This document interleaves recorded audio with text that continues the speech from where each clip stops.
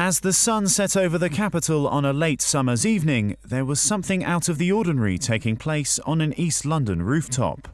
Not quite ready to say goodbye to summer for another year, punters soaked up the end of the warm weather in style.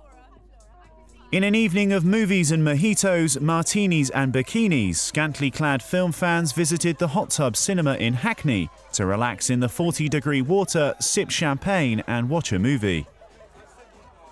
For some, it was a chance to kick back, relax, and catch a classic film. For most, however, it turned into a novel way to chill out after a long day in the city as the aquatic met the cinematic.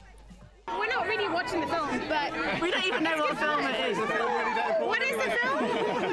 Does it matter what the film is? Not so much. No, no. Good enough. No, we're already swimming in wine, so it's, it's good enough for us.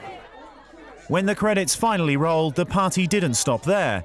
Well, at least not until last orders, anyway.